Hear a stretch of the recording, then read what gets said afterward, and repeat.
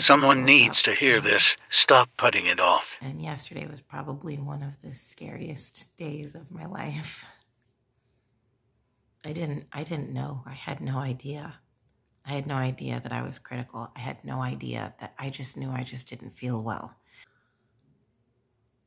And I feel so stupid because I didn't listen to myself. And I knew something was wrong, but I just kept explaining it away. Listen to yourself. Don't wait. And, um, because life is really precious and it's really delicate.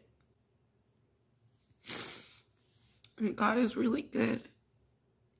It's only by His grace that I'm here.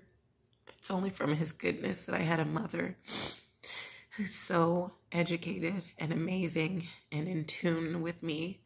And she knew something was wrong and she made me go. Had it not been for my mom, I would not, I'd be dead. I would have gone to sleep and never woken up. Listen to your body. Go get checked out. Whatever it is that you've been putting off, go do it. Don't wait anymore.